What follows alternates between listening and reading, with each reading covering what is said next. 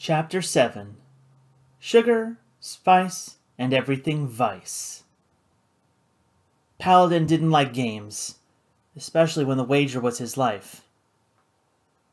Am I a gambling man? he replied, struggling to meet the steady gaze of the woman in white. I suppose so.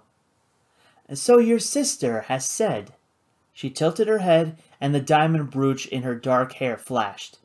She offered her hand. He was sure he had seen her before, not only on the pale man Zeppelin, but also with Flora. He had an image of the two together, giggling, dressed in uniforms. But when? Paladin took her slender hand and kissed her white glove. A gentleman pirate, she cooed, smiled and dimpled her cheeks. How novel.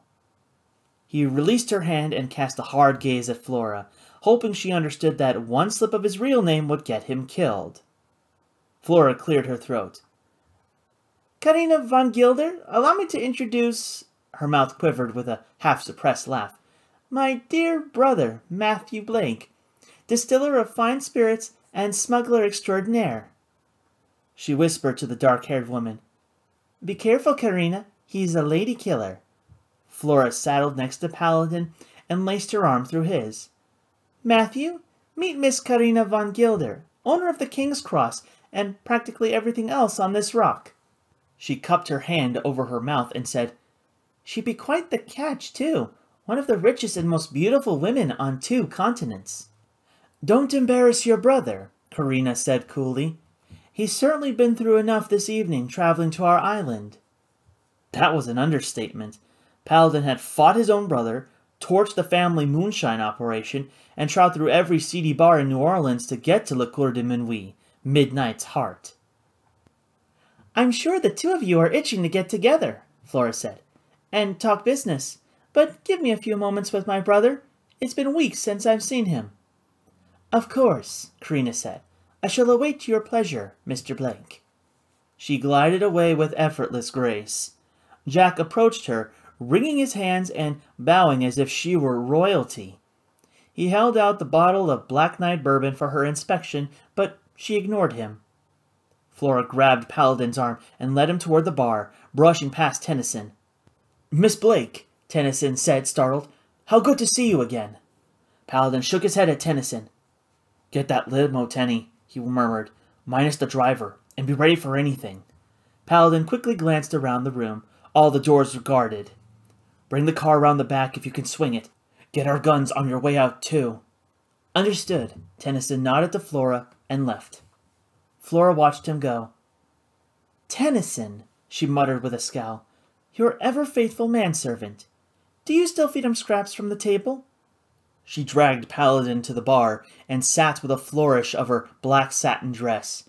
She spoke French to the barkeep, and he returned with two drinks. She slid a highball glass to Paladin. Drink it, she hissed. It'll look strange if you don't. Paladin looked at the drink as if it were poison. It's only water, Flora said. I know better than to try to ply you with liquor. He took a cautious sip. What are you doing here, Flora? Her lips parted in a grin. I'm having fun. These people have money and power and aren't afraid to use them. They know how to live, unlike some men I know. She swilled the contents in her glass.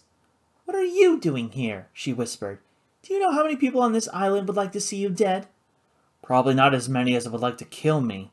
He crossed his arms over his chest. I came for you, Flora. That's sweet of you, brother, but let's try the truth. What Blake aviation security scheme are you running today? Matthew and I are worried about you. Your drinking, this lifestyle, and your new friends. They're more dangerous than you realize. I'm here to take you home. I see, she said, and stared into her drink. You think poor little Flora is all sugar and spice and everything vice? I hate to disappoint you, but I'm all grown up, and there's no home for me to go to. You and Dad and Matthew have seen to that. It was true. Neither of them had a real home or family anymore, but that's what Paladin was here to set straight. Now all he had to do was find a way to tell her that without sounding like a sap. He looked around the casino at Flora's friends. They wore designer gowns and smart tuxedos and jewels. They spoke in French and German. Opium smugglers? Moonshiners? Who were they really? His gaze landed on the dark haired woman, Karina. She was lovely and smart and deadly. She had engineered the theft of a Lockheed prototype, almost started a war, and was the architect of a scheme that would have killed or injured hundreds of innocent bystanders. She had fooled everyone, including Paladin. Who is she? he asked. Flora drank deeply from her glass until there was only pink froth at the bottom. Karina von Gilder, I already told you. Her eyes narrowed. You really are interested in her. I wonder why. She scooted closer to Paladin and set her hand on his arm. He smelled the same overly sweet odor on her breath that filled the room. We were at Smith together. You met her in 28. Paladin visited Flora this summer before she dropped out of college. He remembered her very young and awkward girlfriend who had eyes for him. This was the same woman? The Von Gilders have real money, Flora said. They go anywhere and do anything they want. They make things happen. A gunshot rang out, less than a block away. No one noticed, or if they did, they didn't seem to care.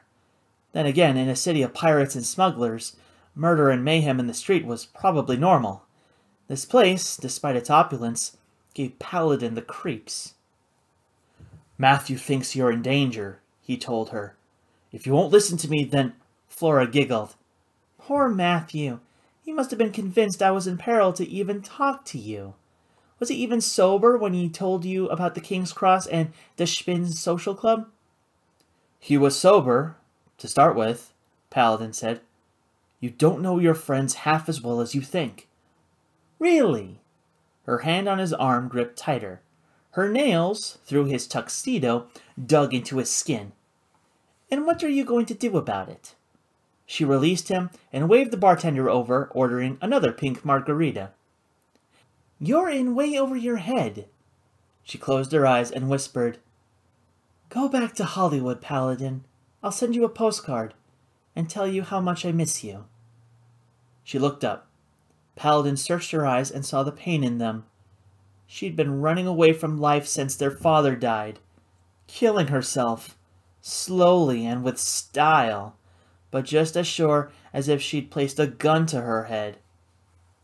You're cleaning up, Flora, Maybe not today, but I will get you out of here. She smiled and stood and smoothed out her gown. I think you better take care of whatever business you have with Karina and leave, while you're still alive. Flora, I... Karina walked across the room, her white dress trailing behind her. Mr. Blake, shall we talk now or wait until tomorrow? There are other matters I must see to tonight. Paladin didn't want to stay in his viper's nest a second longer than he had to. My sister and I are done, he said. For now. I must take your brother, Karina said to Flora. Forgive me. Flora leaned into Paladin, kissed his cheek, and whispered, If anyone needs saving, it's not me. It'll be you. Be careful. Karina took Paladin's hand and led him from the bar. Do you prefer dice, cards, or the wheel, Mr. Blake? I thought we were discussing business, not games. Gambling is how we do business with newcomers on the Cour de Minuit, Karina said. They must prove their intellect, their resourcefulness, and their luck. Besides, all of life is a wager, no? She flashed him a dazzling smile. I never gamble with anything but my heart, Paladin said. But for you, I'll make an exception. What are we wagering? She snapped her fingers. Jack? Jack obediently stepped forward and tried to take her hand to kiss. Uh, she withdrew it. You have a sample of Mr. Blake's fine liquor? Oui, mademoiselle, Jack stammered. He gingerly handed her the square bottle of Black Knight bourbon. She took it and waved the Frenchman away. She ran her index finger on the label. I thought we would wager your cargo. If you win, I shall pay you the cash equivalent, say 25 francs a bottle. Then we can move on to more interesting stakes. I see, Paladin said cautiously, unsure of just what her plan was. Cards, then. Another gunshot sounded, possibly in the street outside the casino. A few heads turned, but in moments the gamblers returned to their games, nonplussed. Karina approached the baccarat table, and with a nod of her head, the players and dealer got up and left. Paladin sat down opposite from her. She set the bottle on the green felt between them. We have met before, Mr. Blake, but I cannot quite place where and when. Her green eyes squinted slightly, as if she were trying to see through them. I'm flattered, but I don't think we have. She had to remember who he was. Paladin's photo had been splashed on every paper and newsreel when he'd brought down her Unionist Zeppelin down practically on top of the Washington Memorial. So why keep up the pretense? Why did a cat play with the mouse before ripping it apart? Karina reached under the table and handed Paladin a sealed deck of cards. He opened it. They didn't look marked. He shuffled, offered her a cut, which she took. A test of luck. He dealt two cards face down. Ladies pick. High card wins. With her delicately long fingers, she flipped over a card. The eight of clubs. Paladin turned over his. The jack of diamonds. She leaned forward and her brows arched. Very good, Mr. Blake. I owe you ninety thousand francs. Would you care to wager again? Sure. Paladin tossed the jack onto the table my 300 cases and the money for information. If I win, I want to know more about the Die Spinne Social Club and how a guy like me gets to join. She scooped up their cards and buried them in the deck. You appear to be a gambling man after all. She shuffled with the speed and precision of a sewing machine and then threw a card in front of Paladin and dropped one in front of herself. I will tell you this, she said. Die Spinne is more than a social club. As you have obviously gathered, we are an import-export enterprise. Independent operators and several national governments use us to move their products. She withdrew a business card from her long white glove and flicked it across the table. Embossed upon it was a spider web. Die Spinne, the spider, in German, she explained. Each strand of our web extends to a different nation across North America, Europe, and even the Orient. We are everywhere. Paladin saw the spider web was bent, the strands kinked halfway from the center. We have other, more ambitious plans, of course, she added, but before I can tell you of our future, the cards. A gunshot blast echoed in the adjoining room. This time everyone took note. Karina stood. Paladin instinctively reached for his 45s, which weren't there. The door to the other casino flew inward off its hinges. The judge stepped in. Tommy gun pointed at the crowd. He glared at Paladin with his good eye. I knew it was you! Judge, Karina said in a deliberately calm tone. I hope you have an excellent explanation for this interruption, or you will walk the short plank. I've got reason enough, he pointed with the muzzle of his gun. That's Paladin Blake! Karina didn't look surprised. She turned over her card, revealing the ace of spades. It appears, Mr. Blake, that your luck has run out. Chapter 8 Cold justice. Paladin Blake stared down the barrel of the judge's Tommy gun. There wasn't much else he could do with it pointed at his face. You've got me mistaken for my brother, Paladin said smoothly. I'm Matthew Blake. The tuxedoed men in the casino anxiously watched, but no one interfered. No one dared get in the judge's line of fire. Flora, however, giggled and ordered a bottle of Black Knight bourbon from the bartender. Karina looked at Paladin, then at the judge. Well, she poured, which is it, Paladin or Matthew Blake? Her blue eyes narrowed to slits. The judge wagged his gun at Paladin. I've gotten drunk with Matthew Blake. I've been shot down by Paladin Blake. And I'm telling you, this ain't Matthew. He glared with his one good eye. Flora sauntered across the room, holding her bottle by the neck, and halted by the judge's side. He's right, she said, and clutched onto the judge's free arm to steady herself. Flora, no, Paladin whispered. That's my brother, she slurred. Paladin. He told me he'd break my neck if I tattled. Indeed, Karina said, and looked Paladin over. It appears, Mr. Blake, that we have met before. She collected the cards on the table and squared them. And it appears that our business is not concluded after all. She balled her white gloved hand into a fist. Judge, take him to the green room. Get the doctor. We will then have an extended conversation with our guest. Paladin didn't like the sound of that. He had to do something, but there weren't many options.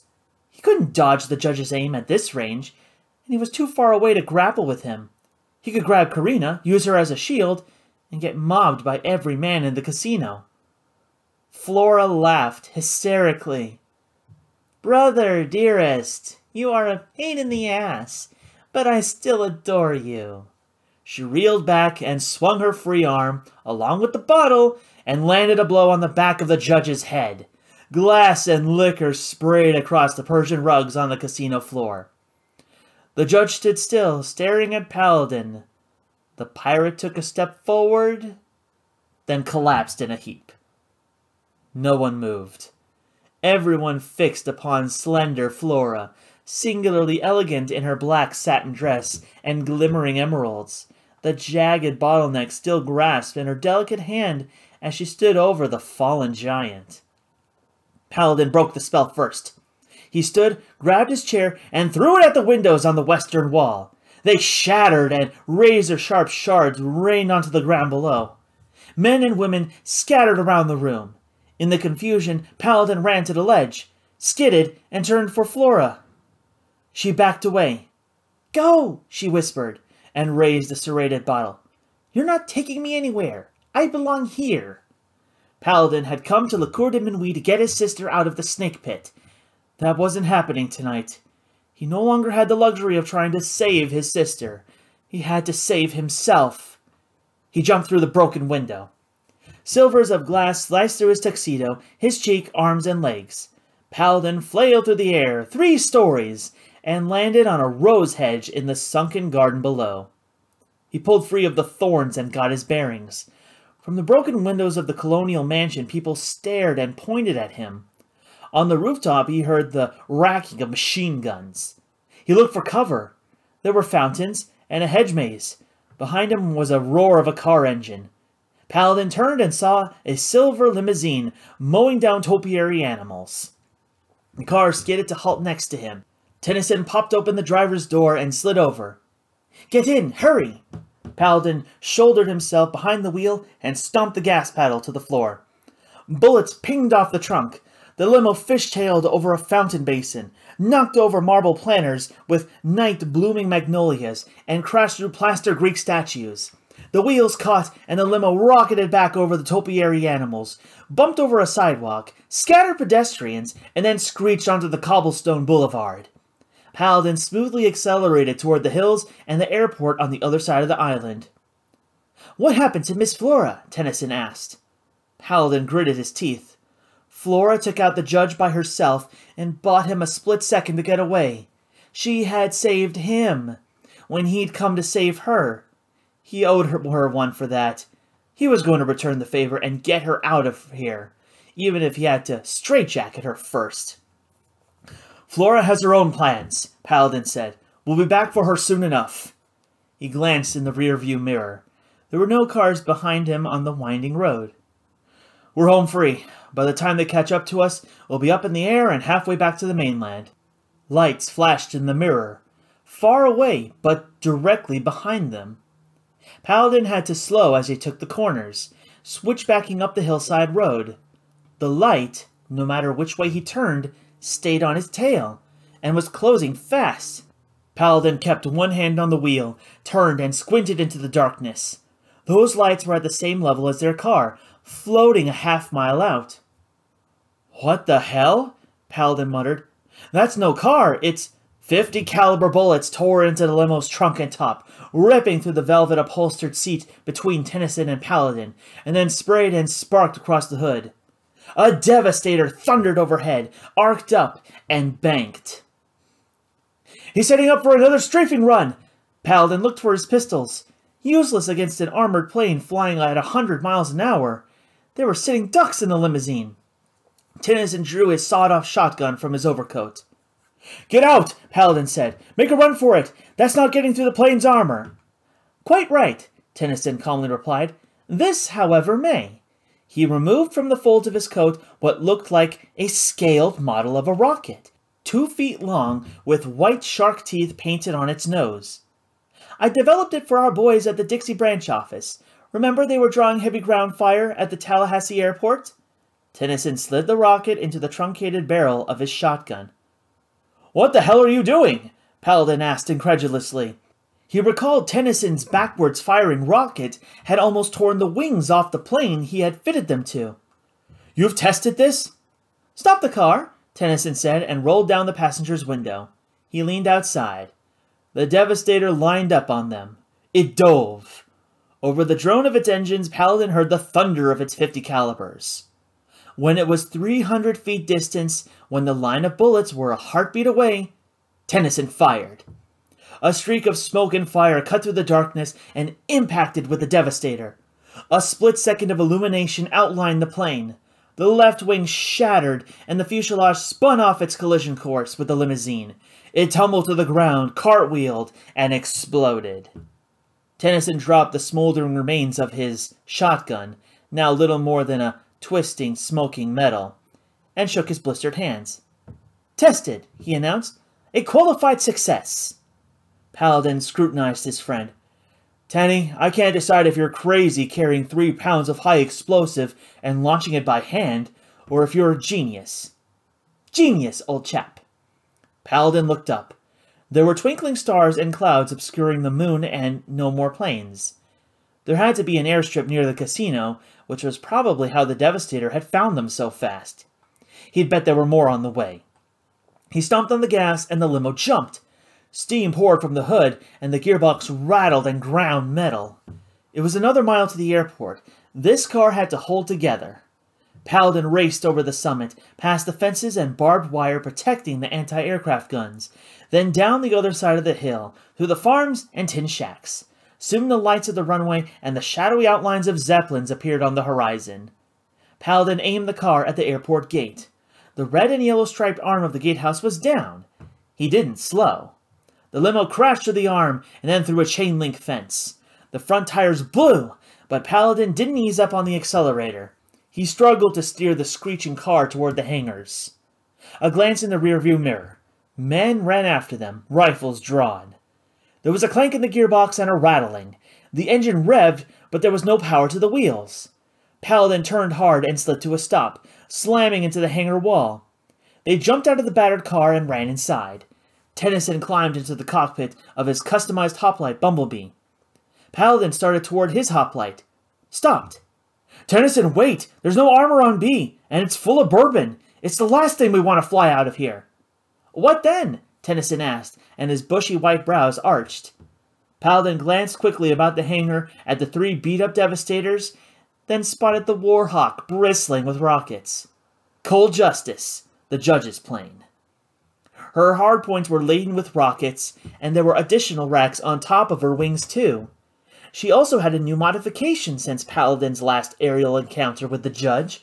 The cockpit had been extended forward, and a rear gun turret had been welded on her tail. It would be justice to steal that plane. Paladin climbed into the cockpit and hot-wired the ignition. Cold Justice's three engines sputtered and turned and roared to life. Tennyson crawled into the rear gunner's seat. Paladin pushed the throttle from idle to one quarter and taxied out of the hangar. A small crowd of armed men were on the runway waiting. This Warhawk had no cannons. Every inch of her frame carried rockets. but the mere sight of her turning toward them scattered the guards like leaves. He eased the throttle to half, rolled onto the runway, gathered speed, and rose into the night. Paladin then banked and turned back toward the airport. He dialed the radio to the same frequency that Jack had used on their approach to the island. This is the judge, Paladin said in his best Texan drawl. We got intruders on the ground, boys. Paladin Blake and his security thugs. Thirty, no, maybe forty of them. Better watch your backs. A French accented voice acknowledged. Paladin kept one eye on the anti aircraft guns. They remained silent. He pointed cold justice at the row of parked hellhounds on the ground and fired. A dozen rockets whooshed from her wings, snaked through the air, and turned the expensive German planes into fireballs of fuel, bits of glittering shrapnel, and plumes of oily smoke. That would gum up their runway for hours and limit the number of planes they could get into the air. He pushed the throttle to full, cut the running lights, and pulled back on the stick. Like his lightning girl, this Warhawk was just as clumsy, but she did have one advantage over the nimble devastators and furies that protected the island her 37,000 foot ceiling. If he could climb high enough, fast enough, the smaller planes wouldn't be able to touch them. Cold justice rose through layers of clouds and broke through. Paladin saw stars and the half moon, and as far as he could see, no other planes. Tennyson, get on the radio and raise the Texas Rangers. Ask them to get the Alamo and the Crockett into the air. Then call the relay station in Amarillo and patch through the Hollywood. Have them contact the Aegis in New Orleans and get them here. I want every plane we've got in the air and in Houston in 12 hours. I've got one last thing to handle personally. Then we're going to take care of La Cour de Minuit.